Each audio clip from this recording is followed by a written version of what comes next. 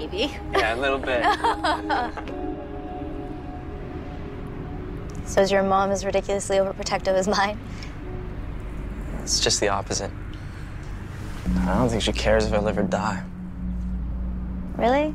Yeah, I'm serious. I'm only close to one person in my family now, and my sister Celeste, but not even her so much anymore. Why not? How's, how's your dad? Is, is he as strict as your mom? Um, my dad died in a motorcycle accident about three years ago.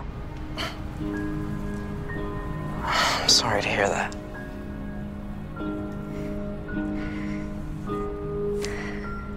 My parents divorced when I was about 12. Then, after my dad left, I stopped talking to him. He called every Saturday and left me a message, and I never called him back. Then one Saturday it wasn't him calling, it was the highway patrol. I saved his last message. I didn't listen to it ever, I just wanted to keep it. You know, I lost my dad too. Uh, but I was so young I don't remember anything about him. Just that he was killed by one of my uncle's friends. Your dad was murdered? Yeah, and a business deal gone bad or something. Like I said, I, I don't know. Celeste does. I'm so sorry. I don't really tell anybody this stuff about my dad.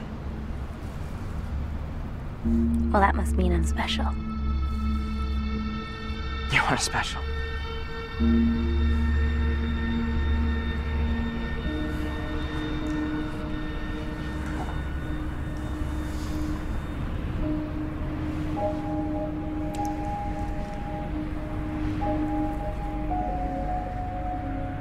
That wasn't a very good kiss. You might want to try that again. Let's see if I can get it right.